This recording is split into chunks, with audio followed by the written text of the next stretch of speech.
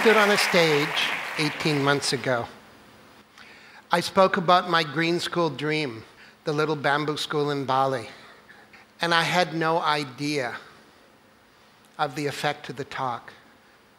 We have doubled our student population to almost 300.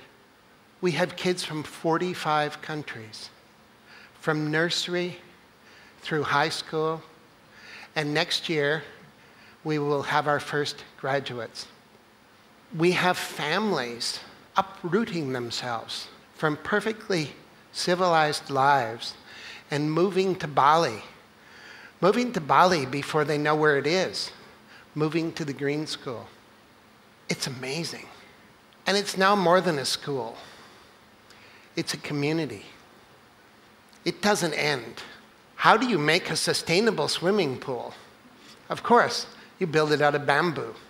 The architects and the engineers didn't get it done.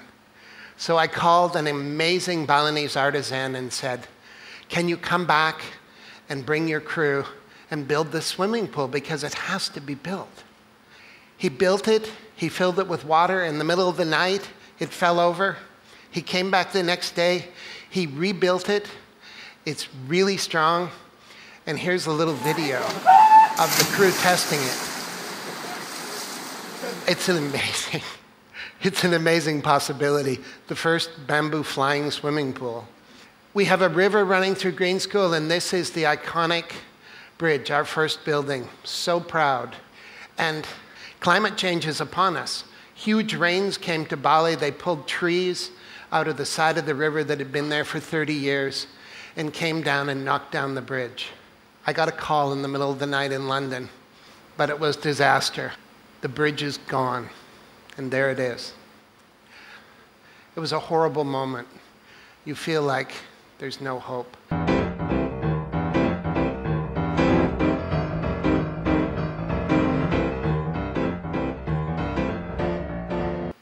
It's almost finished. it's back, the bridge. It's higher above the river.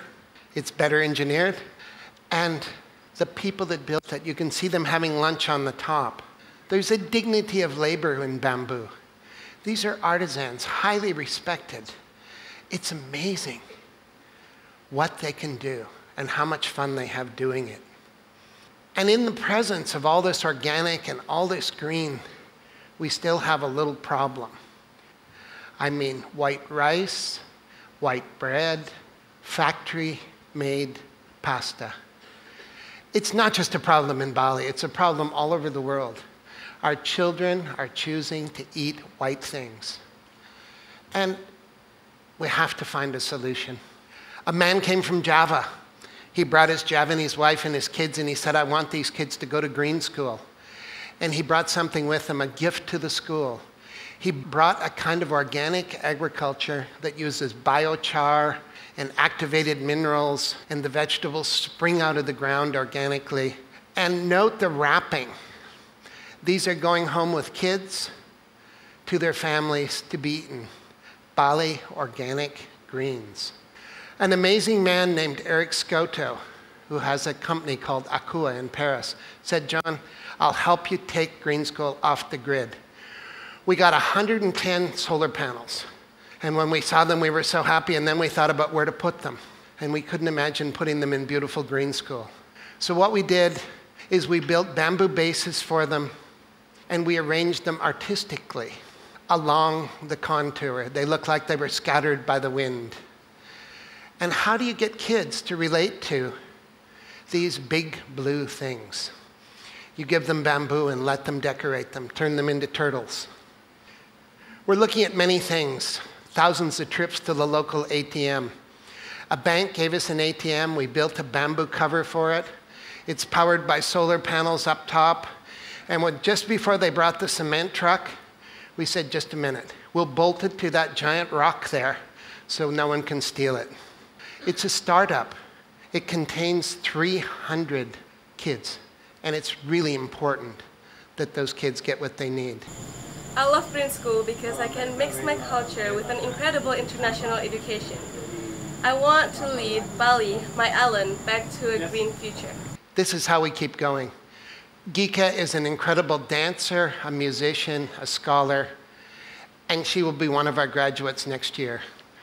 We have another problem. The school is going to go off the grid, but what about the community?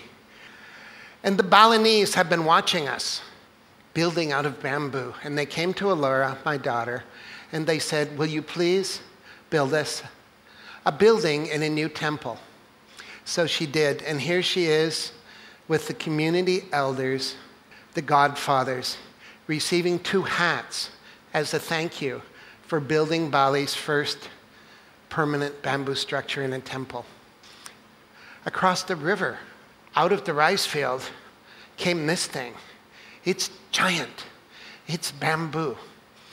It's Big Tree Farms organic chocolate factory. It's amazing. Schools everywhere are doing green things, but at Green School, we take it one step farther. These kids are planting rice in their own rice field. They will harvest it and they will eat it. What we teach them is the land is where their food comes from and the earth is where they live. Thank you.